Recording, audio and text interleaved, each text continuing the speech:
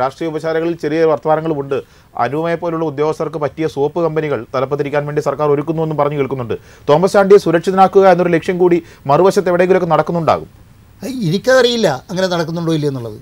അങ്ങനെ അങ്ങനെ Marxist party ചെയ്യുമെന്ന് ഞാൻ കരുതുന്നില്ല. അങ്ങനെ ചെയ്താൽ ഈ പാർട്ടിക്ക് ഉണ്ടാകാവുന്ന പരിക്കുകൾ എന്തായിരിക്കും എന്നുള്ളതിനെ സംബന്ധിച്ചിടത്തോളം പാർട്ടിയുടെ ലീഡർഷിപ്പിന് നല്ല ബോധ്യമുണ്ട്. ആ ലീഡർഷിപ്പ് കൂടി ആറാം തീയതി മറ്റേ ഫുൾ സെക്രട്ടേറിയറ്റ് കൂടുന്നുണ്ട്. അപ്പോൾ ഈ കാര്യങ്ങളെല്ലാം അവർ ചർച്ച ചെയ്ത് തീരുമാനങ്ങളിലേക്ക് പോകും. നിങ്ങൾ നിങ്ങൾ തിരക്ക് പിടിക്കുന്ന പോലെ കാര്യങ്ങൾ നടത്തിക്കൊണ്ട് പോകണം എന്ന് പറഞ്ഞാൽ അല്ലെങ്കിൽ ഞാൻ ആഗ്രഹിക്കുന്നത് പോലെ ഇയാൾ നാളെ തന്നെ രാജിവെക്കണം അല്ലെങ്കിൽ നാളെ തന്നെ ഇയാൾക്ക് ഇയാൾക്കെതിരെ എതിരായിട്ട് പോലീസിനെ കൊണ്ട് കേസെടുപ്പിക്കണം എന്നൊക്കെ പറയുന്ന ആ രീതിയിൽ നടക്കില്ല. കാരണം അദ്ദേഹം ഗവൺമെന്റിന്റെ ഉത്തരവാദപ്പെട്ട ഒരു സ്ഥാനത്തിരിക്കുന്ന ആളാണ്. ഞാൻ ചോദിച്ചോട്ടെ നമ്മൾ ഈ പൊതു സ്ഥലങ്ങൾ മന്ത്രി എന്നുള്ളത് ഒരു സാധാരണക്കാരൻ സർക്കാർ ഭൂമി കൈയേറിയ നിയമോപദേശം വാങ്ങിയിട്ടാണോ പുറത്താക്കുന്നത്. ഇടപെട്ട് അതിനെ ഇറക്കാനുള്ള ശ്രമം നമ്മുടെ. രാജ്യത്ത് ഈ നിയമവാഴ്ചയൊക്കെ നിൽക്കുമ്പോഴാണല്ലോ ഇതെല്ലാം നടന്നിട്ടുള്ളത്. ഈ നിയമവാഴ്ചയുടെ കീഴിൽ ജീവിക്കുന്നവരാണല്ലോ പത്രക്കാരും ഉദ്യോഗസ്ഥന്മാരും മറ്റെല്ലാ ആളുകളും. അവരെല്ലാവരും കണ്ടുകൊണ്ടല്ലേ ഇതെല്ലാം നടന്നത് ഇവിടെ ഒരു കാര്യം എന്ത്- ചെയ്തു? അല്ല ആ ഒരു കാര്യം സത്യമാണ്. ഈ ഒരു വർഷക്കാലം കൊണ്ടല്ല ഈ സൗദം അവിടെ കെട്ടി വളരെ വ്യക്തമാണ്. ശ്രീ മുജീബ് റഹ്മാൻ ഈ നാൽപ്പത്തിരണ്ടെണ്ണം ശ്രീ തോമസ് ചാണ്ടി പറയുമ്പോൾ അദ്ദേഹത്തിന് ചിലപ്പോൾ കണ്ണടച്ചു തുറക്കുന്ന സമയം മതിയായിരിക്കും. ഇതൊക്കെ അദ്ദേഹത്തിന്റെ വരിയിലാക്കാൻ വേണ്ടി. അങ്ങനെ ഒരു സാധ്യതയിൽ പോലും ഈ സർക്കാർ നിഷ്പ്രഭമാകുമെന്ന് താങ്കൾ ഈ തോമസ് ചാണ്ടിയോടുള്ള എല്ലാ വിദ്വേഷത്തിന്റെയും വെറുപ്പിന്റെയും പശ്ചാത്തലത്തിൽ വിശ്വസിക്കുന്നുണ്ടോ. ഒന്ന് തോമസ് ചാണ്ടിയെ വിലക്കെടുക്കാൻ തോമസ് ചാണ്ടിക്ക് വിലക്കെടുക്കുവാൻ ചില നേതാക്കന്മാരെ കിട്ടിക്കഴിഞ്ഞിരിക്കുന്നു. അത് ഇടതുപക്ഷ ജനാധിപത്യ മുന്നണിയുടെയും ഒക്കെ തന്നെ ചില നേതാക്കന്മാർ അദ്ദേഹത്തിന്റെ പോക്കറ്റിലേക്ക് ആയി കഴിഞ്ഞിരിക്കുന്നു. അതുകൊണ്ട് തന്നെയാണ് ഇത്തരത്തിൽ ഗൗരവം. താങ്കൾ നേരത്തെ സൂചിപ്പിച്ചതുപോലെ തന്നെ മറ്റൊരു വിഷയമുണ്ട്. അദ്ദേഹം ദാനശീലനാണ് ദയ വളരെ ദയ ഉള്ള ആളാണ്. ധാരാളം പണം വാരിക്കോടി കൊടുക്കുന്ന ആളാണ്. ഇപ്പോൾ താങ്കൾ എന്ന് ചോദിച്ചു കഴിഞ്ഞാലും ആവശ്യത്തിന് പണം തരും. അങ്ങനെ ഒരു മനുഷ്യനാണ് അദ്ദേഹം. ധാരാളം പേർക്ക് എല്ലാ രാഷ്ട്രീയ പാർട്ടിയുടെ നേതാക്കന്മാർ അദ്ദേഹത്തിന് ഇന്ന് പൈസ മേടിക്കാറുണ്ട്. അങ്ങനെ പൈസ മേടിക്കുമ്പോൾ അദ്ദേഹത്തിന്റെ ഗുണമുണ്ട്. ഇതിനകത്തിൽ കൃത്യമായ വൗച്ചറുകളുണ്ട്. അതാണ് ഭയപ്പെടേണ്ട ഏറ്റവും ഒന്നാമത്തെ കാര്യം എന്ന് പറയുന്നത്. അദ്ദേഹം വൗച്ചർ ഒപ്പിടിപ്പിച്ച് വെച്ചതിന് ശേഷം മാത്രമേ പൈസ കൊടുക്കുകയുള്ളൂ. ആ വൗച്ചറുകൾ അദ്ദേഹത്തിന്റെ കൈവശമുണ്ട്. ആ വൗച്ചറുകൾ തന്നെയാണ് പല രാഷ്ട്രീയക്കാരും അദ്ദേഹത്തിനെ ഭയപ്പെടുന്നത്. അതുകൊണ്ട് തന്നെ അത് വെച്ചുകൊണ്ട് അദ്ദേഹം ബ്ലാക്ക് മെയിൽ ചെയ്യും എന്ന് പേടിച്ചിട്ട് തന്നെയാണ് പലരും അദ്ദേഹത്തിനെതിരെ തിരിയാത്തത്. ശക്തമായ രാഷ്ട്രീയ പ്രക്ഷോഭത്തിലേക്ക് വരാത്തത്. പ്രത്യേകിച്ച് കോൺഗ്രസ് നേതൃത്വം. ആലപ്പുഴയിലെ കോൺഗ്രസ് നേതൃത്വം എന്ന് പറയുന്നത് അദ്ദേഹത്തിന്റെ പോക്കറ്റിലാണ്. അതുകൊണ്ട് തന്നെയാണ് അവർക്ക് ആർക്കും കടന്നു വരാൻ കഴിയാത്തത്. ഇവിടെ അദ്ദേഹം ലേക്ക് പാലസ് റിസോർട്ട് നിർമ്മിച്ചിരിക്കുന്നത് തന്നെ നിയമവിരുദ്ധമാണ്. അവിടെ ഉണ്ടായിരുന്ന നെൽവയൽ നികത്തിക്കൊണ്ടാണ് അത് നിയമിച്ചിരിക്കുന്നത്. അദ്ദേഹം മാർത്താണ്ഡം കായൽ കയ്യേറിയിരിക്കുന്നത് നിയമവിരുദ്ധമായിട്ടാണ്. അവിടെ കായൽ ഭൂമിയാണ് കയ്യേറിയിരിക്കുന്നത്. ഒരു സംശയം വേണ്ട അക്കാര്യത്തിൽ അതൊക്കെ തന്നെയാണ് റിപ്പോർട്ടിലുള്ളത്. അങ്ങനെ വന്നു കഴിഞ്ഞു കഴിഞ്ഞാൽ അവിടെ പിന്നൊരു അന്വേഷണം നടത്തേണ്ട കാര്യമല്ല. അവിടെ അന്വേഷണം നടത്തേണ്ടത് റവന്യൂവിന്റെ ഉത്തരവാദിത്തപ്പെട്ടയാളാണ്. അതിനാണ് ജില്ലാ കളക്ടർ എന്ന് പറയുന്നത്. തണ്ണീർത്തട സംരക്ഷണ നിയമം അനുസരിച്ചുകൊണ്ട് ജില്ലാ കളക്ടറാണ് റിപ്പോർട്ട് കൊടുത്തിരിക്കുന്നത്. ആ ജില്ലാ കളക്ടറുടെ റിപ്പോർട്ട് അനുസരിച്ചുകൊണ്ട് നടപടി സ്വീകരിക്കുക എന്നുള്ളതാണ്. അതിനകത്തിൽ മറ്റൊന്നും ആലോചിക്കേണ്ടില്ല അങ്ങനെ ഒരു പ്രാഥമിക ഒരു മന്ത്രിക്കെതിരായിട്ട് ആ ഒരു ആരോപണം വന്നു കഴിഞ്ഞു കഴിഞ്ഞാൽ അതിലും പ്രാഥമിക എൻക്വയറി നടത്തിയിട്ട് അന്വേഷണത്തിന്റെ ഭാഗമായിട്ടുള്ള റിപ്പോർട്ട് വന്നു കഴിഞ്ഞാൽ പിന്നെ എന്താ ചെയ്യേണ്ടത്? പിന്നെ ആ സ്ഥാനത്തിരിക്കാൻ പാടില്ല. ഇവിടെ ചർച്ച ചെയ്യുന്നത് എവിടെ? മന്ത്രിസഭാ യോഗമാണ് ചർച്ച ചെയ്യാൻ പോകുന്നത്. ഈ മന്ത്രിസഭാ യോഗത്തിലെ പ്രതിയാണ് ഇരുന്നുകൊണ്ട് ചർച്ച ചെയ്യുന്നത്. എങ്ങനെയാണ്? എനിക്കെതിരെ എന്ത് ശിക്ഷ വേണമെന്ന് പ്രതിയാണോ ഇരുന്നുകൊണ്ട് തീരുമാനമെടുക്കുന്നത്? ചർച്ച ചെയ്യപ്പെടുന്നത് അത് മാത്രമല്ല എല്ലാ കാര്യത്തിനും വലിയ പ്രതികരി മാർക്സിസ്റ്റ് പാർട്ടിയുടെ ഒരു പിന്തുണ ചില ആളുകളുടെ ഉണ്ട് എന്നുള്ളതിന് ഏറ്റവും വ്യക്തമായ തെളിവാണ്. എല്ലാ കാര്യത്തിലും എല്ലാ കാര്യത്തിലും പ്രതികരിക്കുന്ന എല്ലാ കാര്യത്തിലും പ്രതികരിക്കുന്ന ഒരാളാണ് സുധാകരൻ. ഞാൻ പറഞ്ഞല്ലോ? പൂജാരിമാർ കുനിഞ്ഞു നിൽക്കുമ്പോൾ അടിവസ്ത്രം ഉണ്ടോ എന്ന് ഇത്രയും ഈ രീതിയിൽ അവിടെ കായൽ കൈയേറിയിട്ട് മിണ്ടുന്നില്ല. മിണ്ടുന്നില്ല. എന്താ കാര്യം? സുധാകരൻ മിണ്ടുന്നില്ല. അപ്പൊ ഇത് സി പി എമ്മിന് ഇതിൽ പങ്കുണ്ട്. ഇയാളെ സംരക്ഷിക്കുന്നതിനൊന്ന് വിശ്വസിച്ചാൽ ഈ- ശ്രീ സണ്ണിക്കുട്ടി അബ്രാം ഈ പങ്കാണ് ഒരു പക്ഷേ ഈ കേരളത്തിൽ പ്രതിപക്ഷ നേതാവിന്റെ നേതൃത്വത്തിൽ ഒരു ജാഥയ്ക്കും തുടക്കമായല്ലോ. ഈ ജാഥകളുടെ കാലമായതുകൊണ്ട് അതിന്റെ വാർത്താ പ്രാധാന്യത്തെക്കുറിച്ചൊന്നും ഞാൻ സംസാരിക്കുന്നില്ല. പക്ഷേ ഈ പ്രധാനപ്പെട്ട ഒരു ജനകീയ വിഷയം പാരിസ്ഥിതികമായ വിഷയം ഉണ്ടാകുമ്പോൾ അവിടേക്ക് ഒരു കൃത്യമായ സമരപരിപാടി പോലും നടത്താൻ കഴിയാത്ത തരത്തിൽ ഒരു പേരിന് വേണ്ടിയുള്ള പ്രതിഷേധ പ്രകടനങ്ങളാണോ എല്ലാ പക്ഷത്തു നിന്നും ഉണ്ടാകുന്നത്? അല്ല അതാണ് പിന്നെ അഭിജിത്ത ഞാൻ നേരത്തെ പറഞ്ഞത്.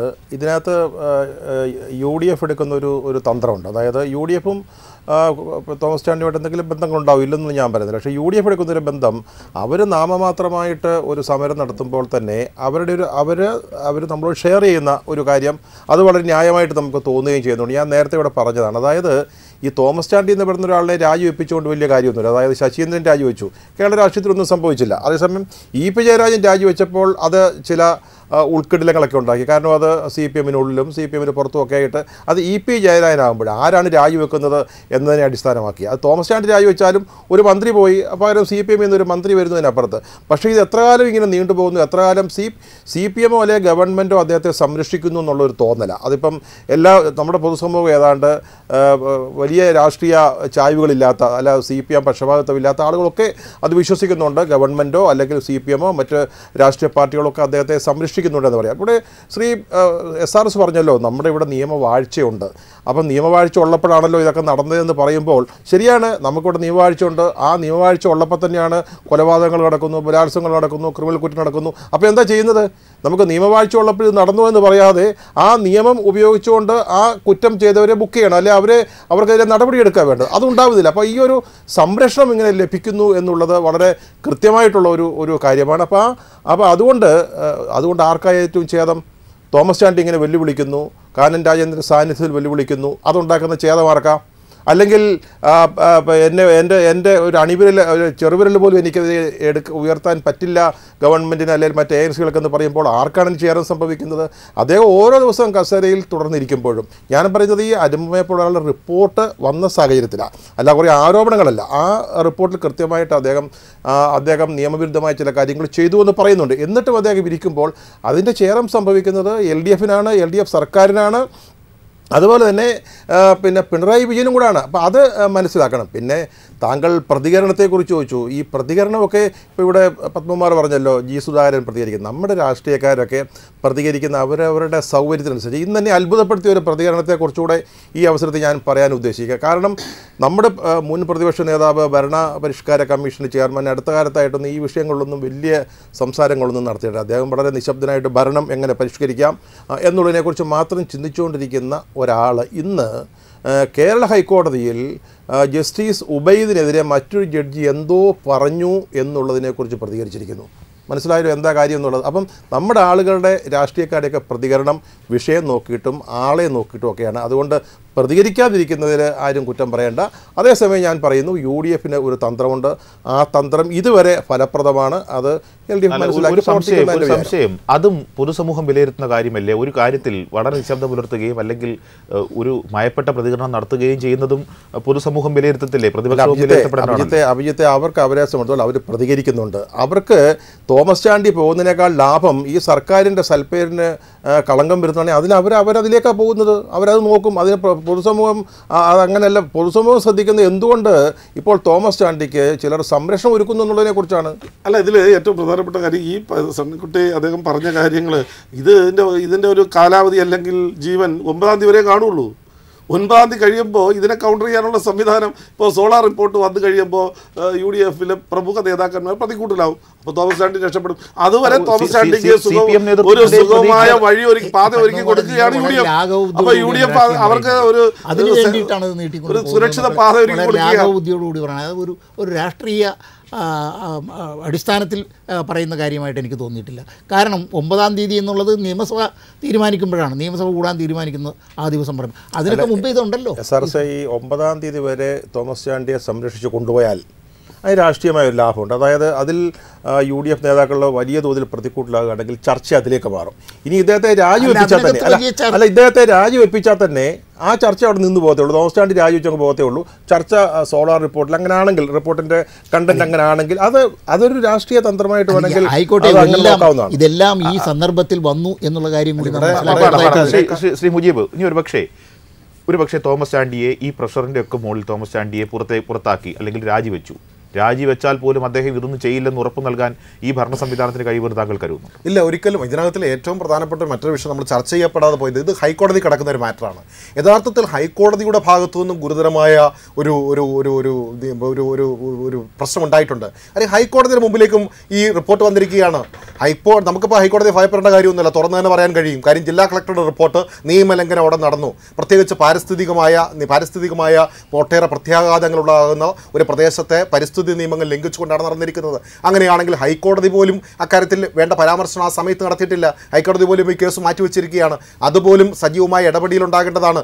ഗവൺമെന്റ് പരാജയപ്പെടുന്നിടത്ത് ഗവൺമെന്റ് മിഷണറിയുടെ ഭാഗത്തു നിന്നും ഒരു തീരുമാനം ഉണ്ടാകുന്നില്ലെങ്കിൽ നമ്മൾ പ്രതീക്ഷിക്കുന്നത് ജുഡീഷ്യറിയാണ്. പക്ഷേ ഇവിടെ ജുഡീഷ്യറി പോലും അലംഭാവം കാണിച്ചിരിക്കുന്നു. ഞാൻ ഞങ്ങളൊക്കെ സംശയിക്കുന്ന ഒരു കാര്യമുണ്ട്. ഇദ്ദേഹം നാളുകളിൽ ഇനി ഏതെങ്കിലുമൊക്കെ ജഡ്ജിമാരെ പിടിച്ചുകൊണ്ട് ഹൈക്കോടതിയെ പോലും ആ കേസ് സ്വാധീനിക്കുമോ എന്ന് തന്നെ ഭയപ്പെടുന്നേണ്ടിയിരിക്കുന്നു. അതിന് പോലും അടിക്കാത്ത ഒരു അത്രമാത്രം സ്വാധീനമുള്ള ഒരാളാണ് അദ്ദേഹം എന്ന് പറയുന്നത്. ആ അദ്ദേഹം പല രീതിയിലുള്ള അദ്ദേഹത്തിന്റെ ഏറ്റവും രസകരമായി ഈ അടുത്ത സമയത്ത് എനിക്ക് കഴിഞ്ഞ ദിവസം മനസ്സിലാക്കാൻ സാധിച്ച ഒരു കാര്യമെന്ന് പറയുന്നത് രണ്ടായിരത്തി പതിനാല് രണ്ടായിരത്തി പതിനഞ്ച് വർഷത്തിൽ ഈ കോടീശ്വരന്റെ വരുമാനം എന്ന് പറയുന്ന ഇൻകം ടാക്സിന് മുമ്പിൽ കൊടുത്തിരിക്കുന്നത് നാല് ലക്ഷത്തി ആയിരത്തി നാൽപ്പത് രൂപയാണ്.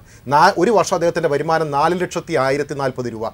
ശ്രീ അഭിജിത്തിന് അറിയാമല്ലോ. ഒരു എം എൽ എയുടെ ശമ്പളം എന്ന് പറയുന്നത് ഒരു മാസം മുപ്പത്തൊമ്പതിനായിരത്തി അഞ്ഞൂറാണ് മുപ്പത്തൊമ്പതിനായിരത്തി അഞ്ഞൂറ് വെച്ച് നമ്മൾ കണക്കൂട്ടി തന്നെ നാല് ലക്ഷത്തി എഴുപത്തയ്യായിരം രൂപ വരികയാണ് ഒരു വർഷം.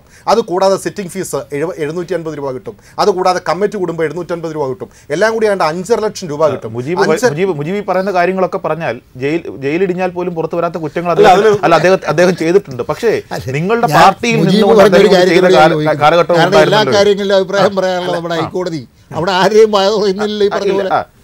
അല്ല അതിനകത്തിൽ ഒരു കാര്യം ഞാനിപ്പോൾ ഇതിനെ സംബന്ധിച്ചിടത്തുള്ള കാര്യങ്ങളൊക്കെ തന്നെ ഈ വിവാദങ്ങൾ ഉണ്ടായതിന് ശേഷമാണ് അദ്ദേഹത്തിന്റെ പ്രശ്നങ്ങളൊക്കെ തന്നെ കൂടുതൽ പേരും പഠിക്കുന്നത്. അദ്ദേഹത്തിനെ സംബന്ധിച്ച് പഠിക്കുന്നത് തന്നെ. അദ്ദേഹത്തിന്റെ എൻ ആർ ഐ സ്റ്റാറ്റസ് വളരെ ഒരുപക്ഷെ ഇനിയുള്ള ദിവസങ്ങളിൽ ഏറ്റവും കൂടുതൽ ചർച്ച ചെയ്യപ്പെടുന്ന ഒരു കാര്യമാണ്. അദ്ദേഹത്തിന് എൻ ആർ ഐ സ്റ്റാറ്റസ് ഉള്ള ഒരാളാണ്. അദ്ദേഹം അവിടെ നിരവധി സ്കൂളുകളുടെ ചെയർമാനായിട്ടിരിക്കുന്ന ആളാണ്. ഇപ്പോഴും അദ്ദേഹത്തിന്റെ ചെയർമാൻ സ്ഥാനം അത് മാറിയിട്ടില്ല മാറ്റിയിട്ടുമില്ല. അവിടെ ആ കാര്യങ്ങളൊന്നും തന്നെ അദ്ദേഹം കേരളത്തിലെ സത്യ ഈ ഇലക്ഷൻ കമ്മീഷൻ കൊടുത്ത സത്യവാങ്മൂലത്തിൽ പറഞ്ഞിട്ടില്ല. അത് മാത്രമല്ല അങ്ങനെ ഇരിക്കുന്ന ഒരാൾ മറ്റൊരു രാജ്യത്തിന്റെ പദവിയിലിരിക്കുന്ന മറ്റൊരു രാജ്യത്തിന്റെ റെസിഡൻസ് പദവിയിലിരിക്കുന്ന ഒരാൾ അദ്ദേഹമാണ് ഇവിടെ മന്ത്രിയായിട്ടിരിക്കുന്നത്. വളരെ ഗുരുതരമായ അഭിത ഞാൻ മുജീബുർ റഹ്മാനോട് ചോദിച്ചൊരു ചോദ്യത്തിന് മറുപടി കിട്ടിയില്ല. താങ്കൾ ഈ പറഞ്ഞതെല്ലാം ഞാൻ സമ്മതിച്ചു. നൂറ് ശതമാനം ശരിയാ. ഇതൊക്കെ നിങ്ങൾക്ക് അറിയാവുന്നിരിക്ക അറിയാവുന്നിരിക്കുകയാണ് നിങ്ങൾ അദ്ദേഹത്തെ എം എൽ എ ഇതിനകത്ത് മനസ്സിലാക്കേണ്ട ഒരു കാര്യം. ഇതൊക്കെ ഇപ്പോഴാണ്. മനസ്സിലാക്കേണ്ടത് കേരളത്തിൽ ഉത്തരവാദിത്തം താങ്കൾക്കുമുണ്ട്? ഒഴിഞ്ഞു മാറാൻ പറ്റില്ല? കേരളത്തിലെ മാധ്യമ പ്രവർത്തകർക്കുണ്ട് രാഷ്ട്രീയക്കാർക്കുണ്ട് എന്തിന് എന്റെ മാത്രം?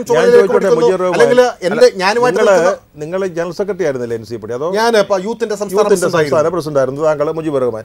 അദ്ദേഹത്തിന്റെ എൻ ആർ ഐ പദവിയെ കുറിച്ച് ഏത് കൊച്ചു കുഞ്ഞിന് പോലും സംശയം അല്ല, ഉണ്ടാവുന്നതാണ് പലരും ഉന്നയിച്ചിട്ടുണ്ട്. അതെ എങ്ങനെ മന്ത്രിയായി എന്നതിനെ കുറിച്ച് പോലും ഉന്നയിച്ചിട്ടുണ്ട്. നിങ്ങൾ മിണ്ടിയില്ലേ ഇതുവരെ. അല്ല നിങ്ങൾ തീർച്ചയായിട്ടും. ഇതിനെ സംബന്ധിച്ച് ആദ്യം മനസ്സിലാക്കുക. ഞങ്ങൾ മിണ്ടിയത് കൊണ്ടാണല്ലോ ഞാൻ പുറത്തേക്ക് പോകേണ്ടതായിട്ട് വന്നത്. ഞാൻ സമയത്ത് ചോദിച്ചത് കൊണ്ടാണല്ലോ. ചോദിച്ചില്ല ഒന്നല്ല കേരളത്തിൽ ഉത്തരവാദിത്തപ്പെട്ട യുവജന പ്രസ്ഥാനങ്ങളുണ്ട്. ഡിവൈഎഫ്ഐ ഉണ്ട് എ വി എഫ് ഉണ്ട് യൂത്ത് കോൺഗ്രസ് ഉണ്ട് യുവമോർച്ച ഉണ്ട്. മറ്റാരും ഇതുവരെ ആരും തന്നെ അക്കാര്യത്തിൽ വിഷയത്തിലേക്ക് ഇടപെട്ടിട്ടില്ല. ഞാൻ ഇടപെട്ടു എന്നുള്ളതുകൊണ്ടാണ് എന്റെ സ്ഥാനം തെറിപ്പിക്കുകയും എന്നെ പുറത്താക്കാൻ ചെയ്യാൻ സാധിച്ചത്. അത് എല്ലാവർക്കും ഉത്തരവാദിത്തമുണ്ട്. നമ്മൾ ചർച്ചയുടെ അവസാന ഘട്ടത്തിലേക്ക് എത്തുമ്പോൾ ശ്രീ എസ് ആർ എസ് ഞാൻ ഈ പറഞ്ഞ ഈ വിഷയങ്ങൾക്കൊക്കെ വലിയ വലിയ സംശയമൊന്നുണ്ട് അദ്ദേഹത്തെ കുവൈറ്റ് ചാണ്ടി എന്നാണ് അറിയപ്പെടുന്നതെന്നാണ് ഞാൻ മനസ്സിലാക്കുന്നത്.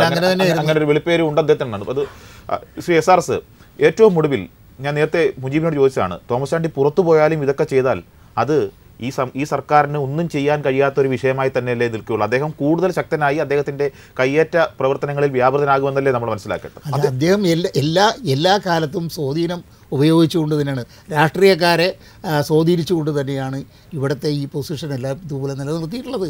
അതെല്ലാ രാഷ്ട്രീയക്കാർക്കും എനിക്ക് തോന്നുന്നു എല്ലാവർക്കും അറിയാവുന്നതാണ്. പക്ഷേ പലരും അറിഞ്ഞില്ല എന്ന് ഭാവിക്കുകയായിരിക്കും എന്തായാലും ശരി അദ്ദേഹത്തിന് ഇത്തരത്തിലുള്ള ഒരു സ്റ്റാറ്റസ് സോഷ്യൽ സ്റ്റാറ്റസ് ഇവിടെ ഉണ്ടാക്കി കൊടുത്തത് നമ്മുടെ സംസ്ഥാനത്തെ രാഷ്ട്രീയ പാർട്ടികൾ തന്നെയാണ്. അതിലൊന്നും യാതൊരു തർക്കവും ഇല്ലല്ലോ. അല്ല ആ സ്റ്റാറ്റസ് ഉപയോഗിച്ച് അദ്ദേഹം അല്ല അത് അങ്ങനെയുള്ള ഒരു അദ്ദേഹത്തിന് എത്രമാത്രം ധൈര്യം ഉണ്ടായിട്ടായിരിക്കണം? ഒരു നിയമസഭാ സാമാജികനെ കുറിച്ച് ആ കൊച്ചിന് വേമ്പനാട്ട് കായൽ എന്ന് പറഞ്ഞാൽ എന്താണെന്ന് അറിയില്ല എന്നൊക്കെ ഒരു പൊതുവേദിയിൽ സംസാരിക്കുമ്പോൾ പറഞ്ഞില്ലേ നിങ്ങൾ പറഞ്ഞ പോലെ ചില രാഷ്ട്രീയ സിനിമകളിൽ വരുന്ന രാഷ്ട്രീയ അഭ്യാസം പോലെ എന്നുള്ളതിൽ കവിഞ്ഞ് അതിനൊന്നും വലിയ വില ഈ രാജ്യത്താരും കൽപ്പിക്കുന്നില്ല. അദ്ദേഹത്തിന് തോന്നിയത് അദ്ദേഹം പറഞ്ഞു. അതുതന്നെ തന്നെയാണ് രാജേന്ദ്രൻ പറഞ്ഞത്. ഓരോരുത്തരുടെ നിലവാരം കാനം പറഞ്ഞത്. ഓരോരുത്തരുടെ നിലവാരം അവർ തന്നെയാണ് പരിശോധിക്കേണ്ടതും അവരാണ് അതിനെക്കുറിച്ച് അഭിപ്രായം പറയേണ്ടതും. അതാണ് ചാണ്ടി ചെയ്യുന്നത് വായിൽക്ക് തോന്നിയത് കോതയ്ക്ക് പറയുന്നവരെ വെച്ചുകൊണ്ടിരിക്കുമ്പോൾ നിങ്ങൾക്ക് അതിന്റെ ക്ഷീണമുണ്ട് അല്ല ഞാൻ ഞാൻ സണ്ണി ഞാൻ സമ്മതിച്ചല്ലോ. അത് ഇത് നീണ്ടു നീണ്ടു പോകുന്നത് കാലകാലേ നീള നീളേതി എന്ന് പറയുന്ന പോലെയാണ് ഈ സംഭവം. ഇത് വളരെ വളരെ നീണ്ടു പോകുന്നത് എല്ലാവർക്കും. മൊത്തത്തിൽ രാഷ്ട്രീയക്കാർക്ക്. കളക്ടർ റിപ്പോർട്ടിന്റെ റിപ്പോർട്ട് സ്വീകരിക്കാം. ഇത് നീട്ടിക്കൊണ്ടു പോകുന്നത് ഈ നേരത്തെ പറഞ്ഞതുപോലെ ഒമ്പതാം തീയതി പറഞ്ഞത് ഇഷ്യൂ ഡൈവേർട്ട് ചെയ്യും. ഈ ഡൈവേർട്ട് ചെയ്യുമ്പോൾ ഇദ്ദേഹത്തെ സംരക്ഷിക്കുക. എന്തിനു വേണ്ടിയിട്ട് സി പി എം ഇങ്ങനെ സംരക്ഷിക്കുന്നു എന്നുള്ളതാണ് പൊതുസമൂഹത്തിലെ സംരക്ഷിക്കുന്നു എന്നുള്ള നിങ്ങളുടെ അല്ല, ആക്ഷേപം പല ശരിയല്ല. ആളുകളും പക്ഷേ പല എന്തായാലും കാര്യങ്ങളും അതിനെക്കുറിച്ച് ഇടതുപക്ഷ ജനാധിപത്യ മുന്നണിയുടെ ക്രെഡിബിലിറ്റിക്ക് ഇത് വലിയ കോട്ട സംഭവിച്ചിട്ടുണ്ട്. അക്കാര്യത്തിൽ ഒരു സംശയം വേണ്ട. കാര്യം നമുക്ക് ഇടതുപക്ഷ ജനാധിപത്യ മുന്നണി എന്ന് പറയുമ്പോൾ പ്രത്യേകിച്ച് ഒരു വർഷമേ ആയിട്ടുള്ളൂ. ഇത് കയറിയതിനു ശേഷം ഒട്ടേറെ പ്രതീക്ഷകൾ ജനങ്ങൾക്കുണ്ടായിരുന്നു. ആരോപണ വിധേയരായി അല്ല ആരോപണ വിധേയരായി കഴിഞ്ഞു കഴിഞ്ഞാൽ അവരെ മന്ത്രിസ്ഥാനങ്ങളിൽ നിന്നോ പദവികളിൽ നിന്നോ അതിപ്പോ- ഒഴിവാക്കി അതിപ്പോ നിർത്തും. തോമസ് ചാണ്ടി എന്നൊക്കെ ഉണ്ടായിരുന്നു. വലിയ കോൺഫിഡൻസ് ആണ് എസ് ആർ എസ് പറയുന്നത്. ഇതൊക്കെ കേരളത്തിലെ പൊതുസമൂഹം കാണുന്നുണ്ട് സാർ. ഒരു മന്ത്രി പൊതുസമൂഹം. ഒരു മന്ത്രി പൊതുസമൂഹം മന്ത്രി സ്വന്തം നിലയിൽ കയ്യേറ്റം നടത്തുക എന്നിട്ട് മൈക്ക് കെട്ടി ഉറക്കെ വിളിച്ച് നിലയിലല്ല അഭിജിത്തെ. ഈ അവിടുത്തെ Alappuzha D C C president M L A ആയിരിക്കുമ്പോൾ സുക്കൂറിന്റെ സുക്കൂർ, കത്തിന്റെ സുക്കൂറിന്റെ കത്തിന്റെ അടിസ്ഥാനത്തിലാണ് അടിസ്ഥാനത്തിലാണ്. ആ, ഇസ്മായിൽ ഇസ്മായിൽ അതുപോലുള്ള പി ജെ കുര്യൻ ഉൾപ്പെടെയുള്ള ആളുകൾ ഈ റോഡ് നിർമ്മാണത്തിന് അത് റോഡ് അതിന്റെ കള്ളക്കളി മനസ്സിലാക്കണം. വലിയ രീതിയിൽ ടെൻഡർ പത്ത് ലക്ഷത്തിൽ കൂടുതൽ കൂടുതൽ ടെൻഡർ ആയാൽ അതിന് ടെൻഡർ വേണ്ടി വരും എന്നുള്ളത് കൊണ്ട് എസ്റ്റിമേറ്റ് വന്നാൽ അഞ്ച് ലക്ഷത്തിന് താഴെ വെച്ച് ഘട്ടക്ക് ചെറിയ ചെറിയ ചെറിയ വർക്കുകളാക്കി ഈ ഇയാളെ ബിനാമിയെ കൊണ്ട് തന്നെ എടുപ്പിച്ച് ഈ റോഡ് അത്രയും ടാർ ചെയ്യാനുള്ള സൗകര്യം ചെയ്തു കൊടുത്തത് ഈ ഇവരെല്ലാം രണ്ട് മുന്നണിയിലൂടെ ചേർന്നാണ്. പക്ഷേ ഞാൻ ചോദിച്ചോട്ടെ ശ്രീ പത്മകുമാർ ഒരു ക്ഷേത്രത്തിന്റെ ഭൂമി കയ്യേറിയെന്ന് അവിടെ നിന്ന് വാർത്ത വന്നിരുന്നല്ലോ. ചുരുങ്ങിയത് ആ വിഷയത്തിലെങ്കിലും നിങ്ങളുടെ അവിടുത്തെ ബി ജെ പി നേതൃത്വം ഒരു പ്രകടനം നടത്തിയതായി ഞാൻ കണ്ടില്ല. ക്ഷേത്രമല്ല ക്ഷേത്രമല്ല ഇപ്പോഴും ബി ആ ക്ഷേത്ര കമ്മിറ്റി ഞങ്ങൾക്ക് ക്ഷേത്ര കമ്മിറ്റിന്റെ ഇഷ്യൂ മാത്രമല്ലല്ലോ. പൊതുവായി. അമ്പലപ്പാർട്ടിനെ ഞാൻ വിളിച്ചില്ല, പ്രധാനപ്പെട്ട. അദ്ദേഹത്തിനെതിരായിട്ട് ആ ക്ഷേത്ര കമ്മിറ്റി മൂവ് ചെയ്തിട്ടുണ്ട്.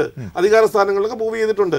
ഞങ്ങൾ ക്ഷേത്രത്തിന്റെ മാത്രമല്ല പൊതുവായി തോമസ് ചാണ്ടിയുടെ ഈ കയ്യേറ്റത്തിനെതിരായുള്ള നിലപാടാണ് സ്വീകരിക്കുന്നത്. അവസാനമായി ശ്രീ സണ്ണിക്കുട്ടി അബ്രഹാം ഈ തോമസ് ചാണ്ടി എന്നത് ഈ രാഷ്ട്രീയ വിദ്യാർത്ഥികൾക്ക് പഠിക്കാൻ കഴിയേണ്ട ഒരു പ്രതിഭാസമായി മാറാൻ പോവുകയാണോ? അദ്ദേഹത്തിന്റെ പണമാണോ അദ്ദേഹത്തിന്റെ ഇത്ര വലിയൊരു സിലബസ് ഒരുക്കി കൊടുത്തത്? അല്ല നമുക്കിപ്പോൾ നോക്കിയാലേ നമ്മൾ കഴിഞ്ഞ തെരഞ്ഞെടുപ്പ് ഒന്ന് നോക്കിക്കേ. കഴിഞ്ഞ തെരഞ്ഞെടുപ്പിൽ പിന്നെ സി പി എം കുറേ സ്ഥാനാർത്ഥികളെ നിർത്തി. അവരുടെ പാർട്ടിയുമായിട്ടൊന്നും വലിയ ബന്ധമുള്ളവരല്ല. അവരൊക്കെ ഇപ്പോൾ ഈ ജനജാഗ്രത യാത്രയിലൊക്കെ അവരുടെ അവരുടെ കാറുകളും അവരുടെ സാന്നിധ്യവും ഒക്കെ ആയിട്ട് ഈ ഗവൺമെന്റിന് വലിയ പിന്നെ പ്രതിച്ഛായ നഷ്ടം ഉണ്ടായിക്കൊണ്ടിരിക്കുകയാണെന്നുള്ളത് മനസ്സിലാക്കണം. ഒരുപക്ഷെ കഴിഞ്ഞ തെരഞ്ഞെടുപ്പിൽ ജയിക്കുക എന്നുള്ളത് അതാത് സ്ഥലങ്ങളിലെ പ്രത്യേക സാഹചര്യം അനുസരിച്ചുകൊണ്ട് ഇക്കുറി ജയിച്ചേ പറ്റൂ എന്നുള്ളൊരു ഒരു തീരുമാനത്തിന്റെ പുറത്തായിരിക്കാം. പക്ഷേ അതൊക്കെ ഈ പാർട്ടിക്ക് സി പി എം പോലൊരു പാർട്ടിക്ക് എൽ ഡി എഫ് പോലൊരു മുന്നണിക്ക് ഒക്കെ ഉണ്ടാക്കുന്ന ഛേദങ്ങളെക്കുറിച്ച് നമ്മൾ മറക്കാൻ പാടില്ല. അതാണ് ഇപ്പം തോമസ് ചാണ്ടി മാത്രമല്ല. തോമസ് ചാണ്ടി ഒരു രാഷ്ട്രീയ പാഠമായേക്കാം കാരണം അദ്ദേഹത്തിന് രാഷ്ട്രീയമായിട്ട് യാതൊരു പാരമ്പര്യം ഉള്ള ഒരാളല്ല. ഒരു ഒരു പാർട്ടിയിലും അദ്ദേഹം പ്രവർത്തിച്ചിട്ടില്ല. അദ്ദേഹത്തിന്റെ വിദ്യാഭ്യാസ യോഗ്യതയെക്കുറിച്ച് ഇവിടെ ശ്രീ മുജിബ് റഹ്മാൻ പറയുന്നുണ്ട്. അപ്പോൾ അദ്ദേഹം കുറേ പണം ഉണ്ടാക്കി അപ്പോൾ ഡി ഐ സിയിലേക്ക് ചേരുന്നു. അത് നല്ല അവസരമായിരുന്നു. വെച്ചാൽ കരുണാകരൻ പാർട്ടിയിൽ നിന്ന് പുറത്തേക്ക് പോയൊരു പുതിയ പാർട്ടി ഉണ്ടാകുമ്പം അത് സ്വീകരിക്കപ്പെടുമായിരുന്നു. അദ്ദേഹം ആ പാർട്ടിയിൽ ചേരുന്നു. പക്ഷേ അദ്ദേഹത്തിന് മനസ്സിലായി തിരിച്ച് കോൺഗ്രസിലേക്ക് അല്ലെ കരുണാകരന്റെ പോകുന്നത് നല്ല കൃഷിയല്ല അതവിടെ വളക്കൂറുള്ള മണ്ണല്ല. ഇപ്പോഴത്തെ അദ്ദേഹം വളക്കൂറുള്ള മണ്ണ് കണ്ടു. എൻ സി പിയിൽ തന്നെ തുടരുന്നു. എൻ സി പിയിൽ മുജീബ് റഹ്മാൻ അകത്തെ ആളായിരുന്നല്ലോ. അദ്ദേഹത്തിന് ഈ രാപ്പനി കൂടെ കിടന്നവർക്ക് രാപ്പനി അറിയാമല്ലോ. അദ്ദേഹം പവാറുമായിട്ട് ഒരു ബന്ധം വയ്ക്കുന്നു. പവാർ അദ്ദേഹത്തിന്റെ പോക്കറ്റിലാകുന്നു. ഏതാണ്ട് ഇവിടുത്തെ സംഘടന അദ്ദേഹത്തിന്റെ കീശയിലാകുന്നു. അതൊരു ഒരു ഒരു ഒരു പാഠം തന്നെയാണ്. കാരണം നമ്മുടെ രാഷ്ട്രീയത്തിൽ നമ്മുടെ രാഷ്ട്രീയത്തിൽ കോൺഗ്രസ് ആയിക്കൊള്ളട്ടെ സി പി എം ആയിക്കൊള്ളട്ടെ പ്രവർത്തിച്ചു വരുന്നവർക്കൊക്കെ ആയിരുന്നു. പിന്നീട് കോൺഗ്രസ് ആണ് അതിൽ ചില മായം ചേർത്ത് തുടങ്ങിയത്. ഇപ്പോൾ വൻതോതിൽ മായം ചേർക്കുന്നത് സി പി എം ആണെന്നുള്ളത് വളരെ സങ്കടകരമായ കാര്യമാണ് പക്ഷേ കാര്യം എന്തൊക്കെയാണെങ്കിലും ഒരു പാഠമാണ് രാഷ്ട്രീയ പാഠമാണ്. പക്ഷേ എന്നെ അത്ഭുതപ്പെടുത്തുന്ന കാര്യം മുജിബുർ റഹ്മാൻ പറഞ്ഞത് എത്രത്തോളം ശരിയാണെന്ന് എനിക്കറിയില്ല. ഈ വൗച്ചർ പോലുള്ള കാര്യങ്ങൾ പണം കൊടുക്കുന്നതിന് കൃത്യമായ തെളിവ് വെച്ചുകൊണ്ട് ഇപ്പോൾ തന്നെ നമ്മുടെ ഈ രാജീവ് വധക്കേസിൽ സി ഉദയഭാനു അദ്ദേഹം അദ്ദേഹത്തിന്റെ വീട്ടിൽ വന്നൊക്കെ അദ്ദേഹം കൃത്യമായിട്ട് ഒളിക്യാമറയിൽ എടുത്തിരുന്നു. ഈ മരിച്ചുപോയ രാജീവ് എന്നല്ലേ പറഞ്ഞു രാജീവ് ഒളിക്യാമറയിലൊക്കെ എടുത്തിരുന്നു. അതുകൊണ്ടാണ് ഈ കേസ് ഇങ്ങനെ പെട്ടെന്ന് ദ്രുതഗതിയിൽ മുന്നോട്ട് പോകുന്നത്. അപ്പോൾ ഇദ്ദേഹം പല തെളിവുകളും ഒക്കെ ആയിട്ട് ഇരിക്കുകയാണെങ്കിൽ അദ്ദേഹത്തിന്റെ അദ്ദേഹത്തിന്റെ കാര്യത്തിൽ ഇടപെടാൻ പലരും ഒന്ന് മടിക്കും.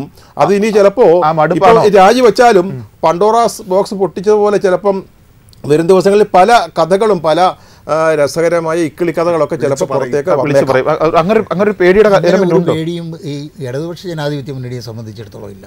ഇതിപ്പോൾ ഇങ്ങനെ ചില സംഭവവികാസങ്ങൾ മറ്റേ ഡെവലപ്പ് ചെയ്ത് വന്നു കഴിഞ്ഞപ്പോൾ അതിന്റെ പുറത്തുണ്ടായിട്ടുള്ള ചില കാര്യങ്ങളാണ്. ഞാൻ പറഞ്ഞു, ഈ തോമസ് ചാണ്ടി ഈ എൽ ഡി എഫിന്റെ ഭാഗമായിരുന്നപ്പോൾ ഈ കുഴപ്പങ്ങളൊന്നും ഉണ്ടായിരുന്നില്ലല്ലോ. അദ്ദേഹം മന്ത്രിയായി എൽ ഡി എഫ് മന്ത്രി ആയപ്പോഴാണ് ഇവിടെ മന്ത്രിയാകുമ്പോഴാണ്. നേരത്തെ സൂചിപ്പിച്ചത് മന്ത്രിയാകുമ്പോൾ അദ്ദേഹത്തിന്റെ പ്രവർത്തനങ്ങളെ സംബന്ധിച്ച് ഇത്തരത്തിലുള്ള ചികഞ്ഞ നോട്ടം നടത്തുന്നത്. ഇതൊരു മ്യൂസിയം പീസാക്കണമോ രാഷ്ട്രീയത്തിൽ എന്നുള്ള കാര്യത്തെക്കുറിച്ചൊക്കെ നമുക്ക് ഭാവിയിൽ ഉണ്ടാകുന്ന നടപടികളുടെ തുടർച്ചയായിട്ട് എന്തായാലും ഇത്തരം കാര്യമാണ്. അനബലിഷ്ടമായ പ്രവണതകൾ സഖ്യകക്ഷി രാഷ്ട്രീയത്തിന്റെ ഏറ്റവും വലിയ അപമാനകരമായ ഘട്ടത്തിലേക്കാണ് കേരളത്തിന്റെ പൊതു പൊതുസമൂഹത്തെ കൊണ്ടുപോകേണ്ടത്. എല്ലാ കാര്യത്തിലും ഇച്ഛാശക്തി പ്രകടിപ്പിക്കുന്ന മുഖ്യമന്ത്രി ഇക്കാര്യത്തിൽ ഗതാഗത മന്ത്രിയുടെ കാര്യത്തിലും അതേ നിലപാട് തുടരണമെന്നാണ് പൊതുസമൂഹം ആഗ്രഹിക്കുന്നുണ്ട്. ടോക്കിംഗ് പോയിന്റ് ഇവിടെ പൂർണമാകുന്നു. വളരെയധികം നന്ദി. Shri Mujeeb Rahman S R Sakthidharan J R Padmakumar Sunnykutty Abraham ചർച്ചയിൽ സജീവമായി പങ്കെടുത്ത നാലുപേർക്കും നന്ദി അറിയിക്കുന്നു.